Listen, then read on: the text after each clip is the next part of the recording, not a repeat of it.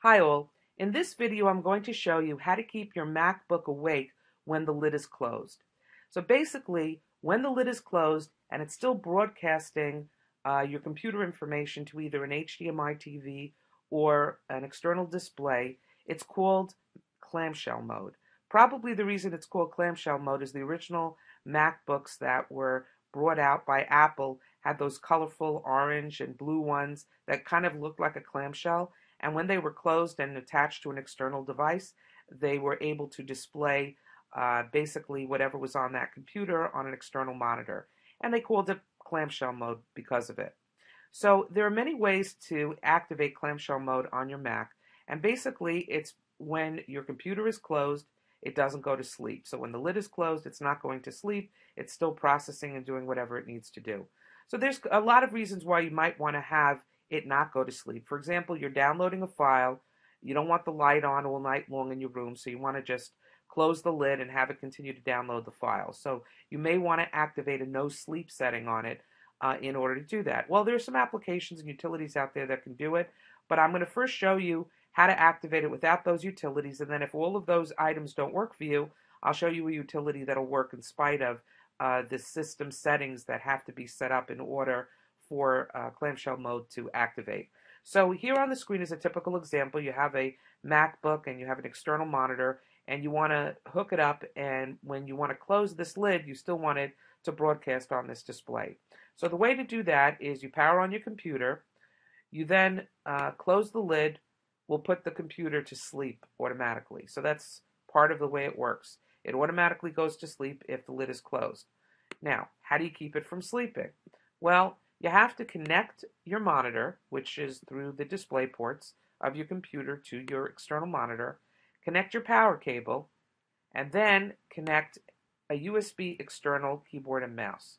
When you do this, uh, automatically clamshell mode is activated on your computer, and to wake it, wake your computer up while it's sleeping and while the computer's uh, lid is closed, you either have to click on a mouse button or press any key on your keyboard, on your USB keyboard, what will happen is your external display will flash blue, um, and in a few seconds, uh, an image would, should appear on the screen.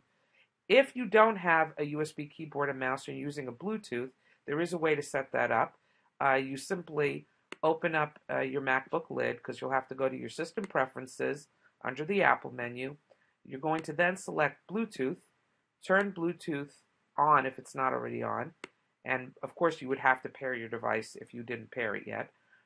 Then click Advanced, and you have to check this box called Allow Bluetooth devices to wake this computer. So let's go ahead and look at that. If we go to System Preferences and we go to Bluetooth, my Bluetooth, as you can see, is on. I'm going to click Advanced over here, and this is the checkbox you have to have on. This will allow a keyboard, mouse, or trackpad that is paired by Bluetooth to wake the computer when it goes to sleep, and this should work if you have an external display.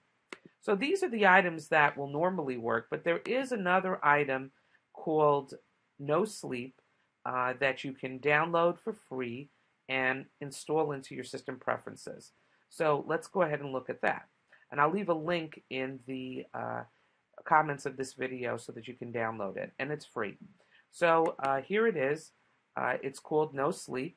You simply click uh, this one, 1.40, and it will download. Once it downloads, you'll go to your downloads folder.